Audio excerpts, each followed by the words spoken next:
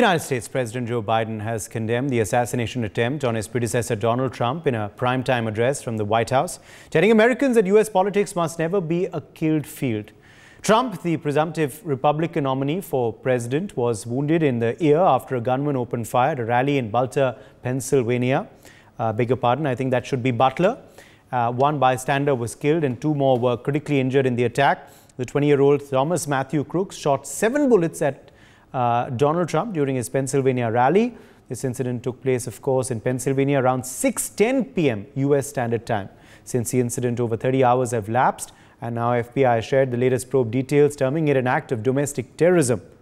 Let's listen into what Joe Biden said after this incident. My fellow Americans, I want to speak to you tonight about the need for us to lower the temperature in our politics and to remember or we may disagree. We are not enemies. We're neighbors. We're friends, co-workers, citizens, and most importantly, we're fellow Americans. We must stand together. Lá em cima, né? Aqui, ó. We can see the guy there. I, I think they hit him because the guy is, he looks dead. And let's show you, of course, the latest revelations that have emerged so far into the FBI's probe. Remember, of course, uh, uh, almost 48 hours now have lapsed uh, since that incident took place. Revelation number one so far coming out to the investigation. The agency, of course, is labeling this as an act of domestic terrorism. Revelation number two, uh, they are saying that uh, the gunman, uh, Matthew Crooks, of course, is a 20-year-old nursing home aide. He appears to have acted alone. This is, of course, the individual uh, pictured here. He uh, uh, reportedly was a lone wolf, according to the FBI's revelations into their investigation so far.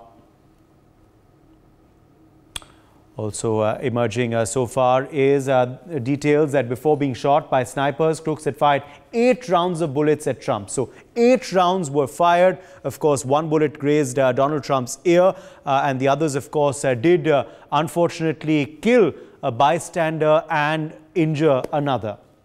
Revelation number four emerging is that counterterrorism and criminal investigation agencies so far are working to determine the motive of the attack, but it's not yet clear. So the motive of the incident, the reason of the attack is still unclear.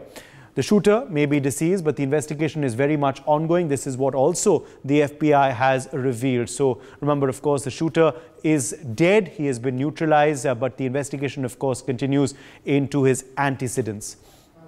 Also, uh, the FBI said uh, they are limited in what we say at this point because the main suspect is dead. He, of course, cannot be interrogated himself because he was shot after he uh, tried to uh, shoot Donald Trump dead. Also, uh, we do know that uh, what we witnessed yesterday was nothing short of an attack on democracy and our democratic process. This is uh, the statement that has come in from Christopher Wray, is the director of FBI. This is the big statement he has made. Also, if we talk about the weapon used for this shooting, uh, we have been told that it was an AR-style rifle chambered in 5.56 mm, a common caliber for such weapons. And uh, the gun had been uh, legally purchased, uh, so it was a legal purchase uh, of this weapon. The FBI believes that Crook's father bought this rifle. He was the one who actually purchased the rifle which was used in this attack. Also, a suspicious device was recovered from the vehicle of the suspect, an FBI official has revealed. So uh, clearly, of course, a suspicious device. It could be, of course, a bomb, uh, an attempted bomb, which was in the car of the suspect that was recovered after the shooting. Also, Crook's social media and other properties have been scoured to understand the motive of the attack. His uh, antecedents are uh, currently being investigated by the premier investigative agency in the United States of America. The FBI yet is yet to identify an ideology linked to the suspect Crooks or indication of mental health issues. Those are not known so far. Also, as per state voter records, Crooks was a registered Republican uh, that is also an interesting development, although we do know that he donated uh, in the past uh, $15 to a Democratic Political Action Committee when he was 17. So we don't quite know what his current political leanings were. At the time of the shooting, he was employed as a dietary aide at a nursing home. That was his uh, primary occupation at the time.